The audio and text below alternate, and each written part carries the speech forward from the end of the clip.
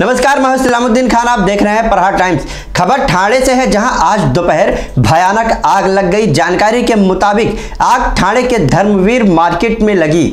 आग इमारत के पहले मंजिले पर लगी। ये आग इतनी भयानक थी कि देखते ही देखते दूसरी मंजिल को भी अपनी चपेट में ले लिया। स्थानीय लोगों ने भी आग बुझाने की कोशिश करते रहे और इसकी जानकारी फायर ब्रिगेड को भी दी। मगर जब तक फायर ब्रिगेड आती, तब तक बहुत कुछ जलकर नुकसान हो चुका था। फ़िलहाल फायर ब्रिगेड ने आग पर काबू पा लिया है, किसी के हाथाहाथ होने की खबर नहीं है। साथ ही इस बात का भी पता लगाया जा रहा है कि आग कैसे लगी है। आपको बता दें कि कुछ समय से देश में आग लगने की घटनाओं में काफ़ी इजाफा हो रहा है। सिर्फ़ मुंबई में ही पिछले छह सालों में आग लगने की उनतीस हज़ार एक सौ चालीस घटनाएँ हुई हैं, जिसमें आग लगने की इतनी बड़ी घटनाओं की संख्या हैरान करने वाली है।